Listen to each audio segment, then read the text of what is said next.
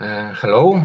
Uh, first, uh, I would like to thank uh, organizers, especially Professor Amos Korczyn, for inviting me uh, to this important scientific uh, congress.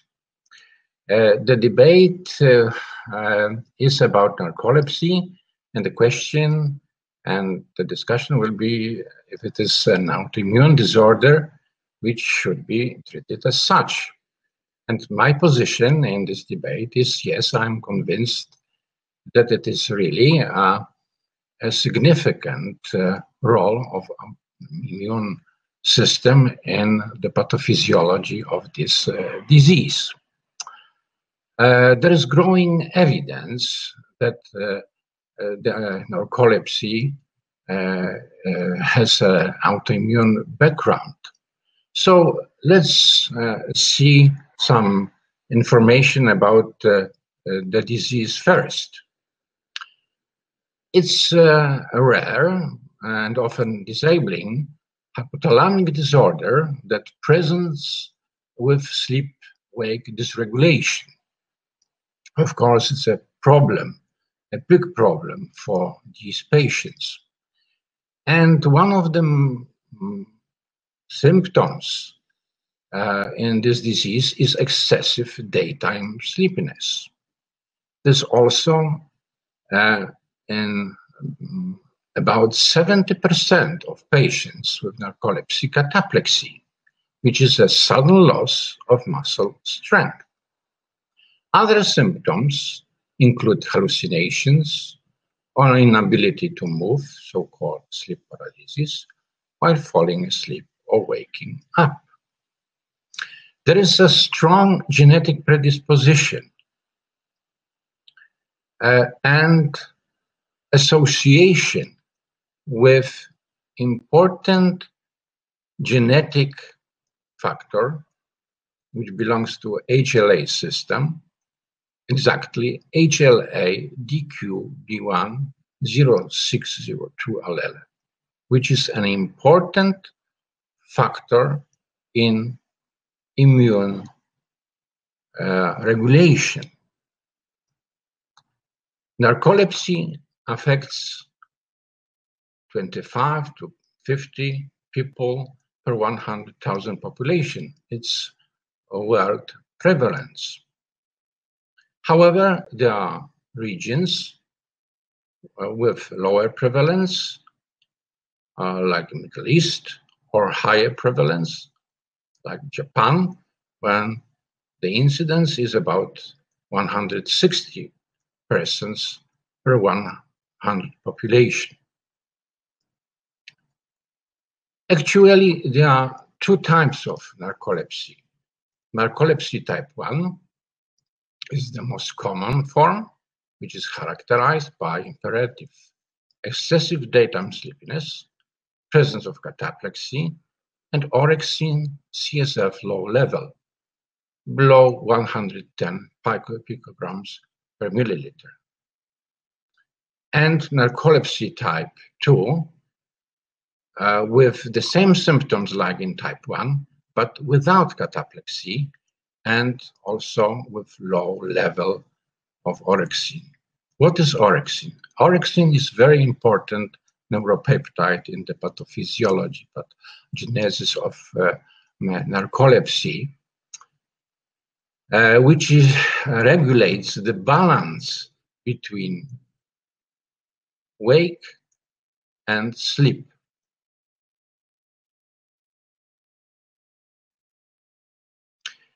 Here you see what happens in the brain in the patients with narcolepsy.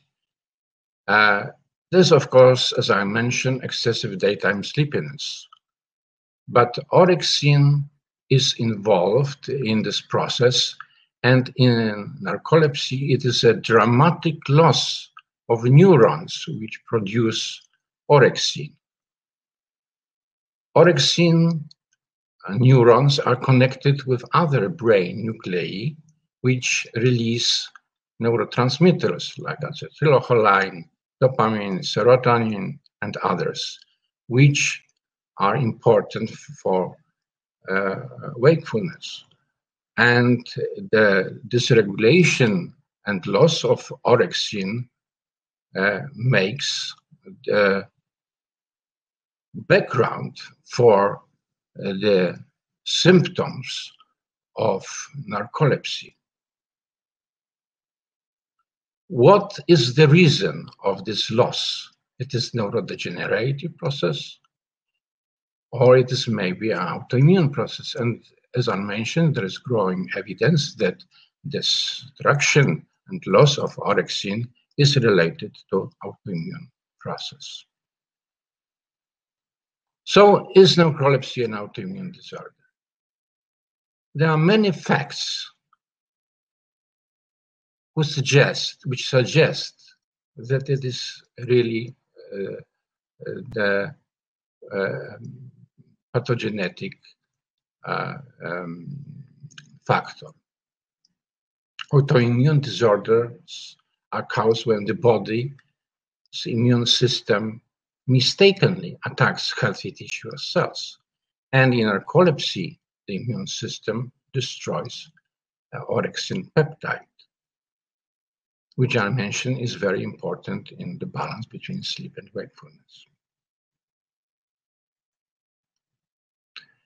Generally, uh, autoimmunity uh, develops when there is a coordination of genetic predisposition and environmental factors which act together and trigger autoimmune process.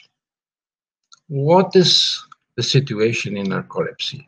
As I mentioned, there is a strong genetic predisposition with HLA DQB1, an important factor in immune regulation. Mm, uh, there is association uh, between this uh, genetic factor uh, and the disease uh, and the um, frequency of the presence is very high of this genetic uh, marker. And environmental factors are also very important uh, and because there is an association between narcolepsy and also uh, infections, streptococcal infections, and more even important with uh, viral infections, especially H1N1 uh, influenza. Um, there was also discovery that there is a molecular mimicry, the discovery by scientists from Stanford University. Uh, uh the molecular mimicry between fragments of orexin and also hemagglutinin uh, of flu protein. And for genetic predisposition, environmental factors which act together stimulate autoimmunity. Uh, molecular mimicry is also involved in this process, and therefore we see uh, the um, uh, situation then narcolepsy uh, was um, developing more frequently after H1N1 uh, pandemic in China and also after vaccination against H1N1, what was described in Finland. Autoimmune process is generally divided into humoral part and cellular part. So how it is in uh, narcolepsy? Well, uh, one of the researchers from Japan, Washima, described the presence of antibodies against uh, Tribbles homolog 2 uh, in patients with narcolepsy and patients who develop uh, cataplexy. but only in 25% of patients, and only in few in patients with narcolepsy uh, uh, without, without cataplexy, and also in a few percent in control studies. So if antibodies, these antibodies, which is not for sure, uh, are related to the pathogenesis, that's more probable for narcolepsy type 1. But recent uh, years uh, showed that uh, probably uh, cellular immunoreactivity is more important.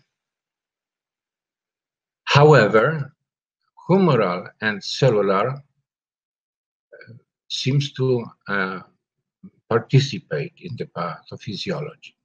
There are orexin-specific CD4 T cells, which are found in blood and uh, of patients with narcolepsy, and also CD8 T cells, which are detected in blood and cerebrospinal fluid of patients with narcolepsy in several patients studied. They can cross the blood-brain barrier and damage orexin.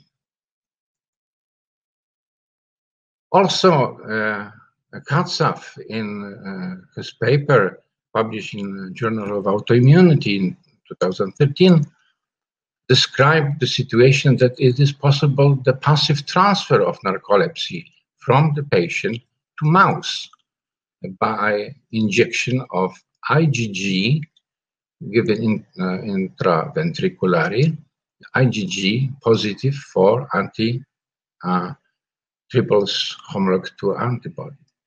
And that produce sleep attacks in mice, similar to attacks present uh, in narcolepsy patients, and also orexin neuron loss.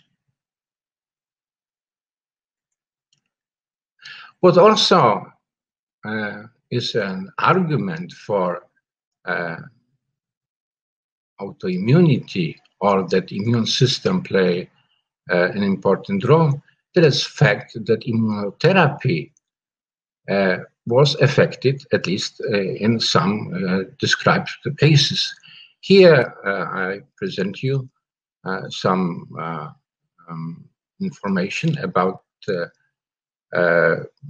cases described in the literature. In a 60-year-old woman, five-day course of plasmapheresis led to a significant decrease of symptoms. Plasmapheresis can remove autoantibodies. Intravenous immunoglobulins in 29-year-old woman also improved the symptoms and normalized CSF uh, orexin level, undetectable at baseline. Also, there are described in the literature cases of narcolepsy with good response when they were uh, treated uh, with steroids.